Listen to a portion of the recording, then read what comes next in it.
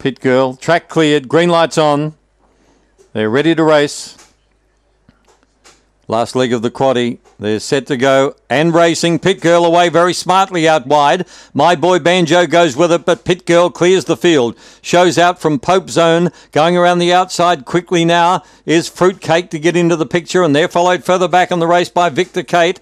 Well back in the field then. Out deep on the track was Where's Sally? Viron's Melody further back, but in the straight. Pit Girl hanging on. Wins from Fruitcake. Running on, Victor Kate got third. My boy Banjo was fourth.